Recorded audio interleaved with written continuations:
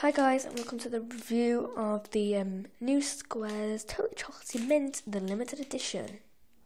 So, so we're going to take a look at the packaging. It's Kellogg's Rice Krispies Squares, Totally Chocolatey Mint, Squares, back, side, there, there. So let's take a look on as at the thing. And this is what it looks like. It's got little chocolatey bits in and covered in chocolate and it's... Let's take a bite of it. Minty.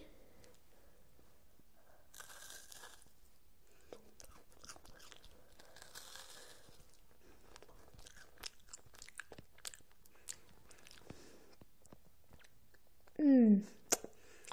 Chocolate as well. There you go.